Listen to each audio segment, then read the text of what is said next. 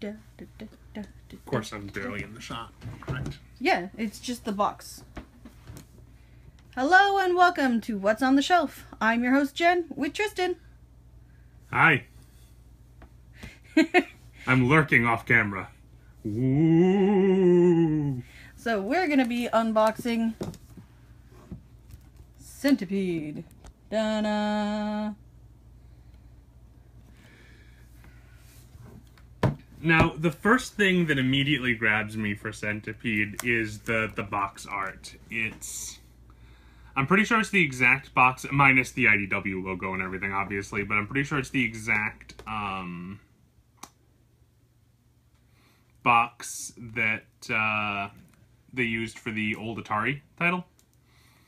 And it's really striking. I really really like it. Do you want to start unboxing? It also sure. It also makes me wonder if this means we're going to start seeing other classic Atari titles converted, Okay. which I would be all for. I really want to see Bubble Bobble as a board game. Well, I don't. Bubble Bobble was NES. Yeah, but it's still a classic.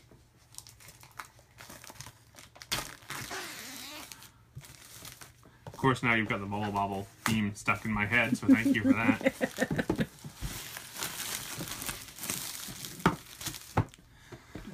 Now, the sticker that I just ripped off of the plastic there, or ripped off with the plastic there, mentioned that there's also a patch, an embroidered patch inside as a limited edition thing, so that's kind of cool.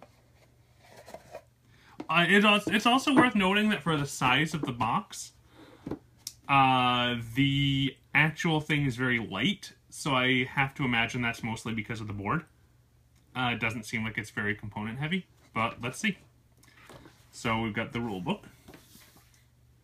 Yes, called it. Cool.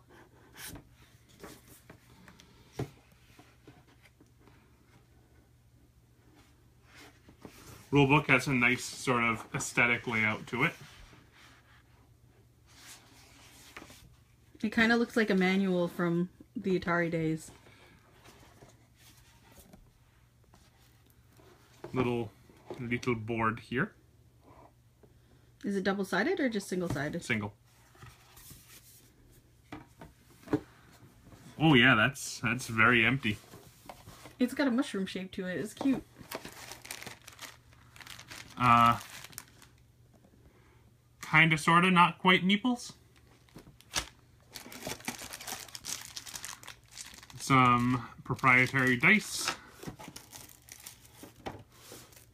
Stickers for the meeples, I would assume. It's for the heads of the centipedes. That patch. That's super cool.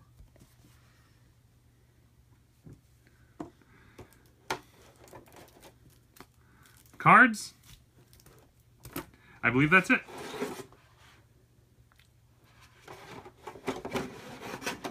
Yeah, like I said, not uh, not the most component heavy game,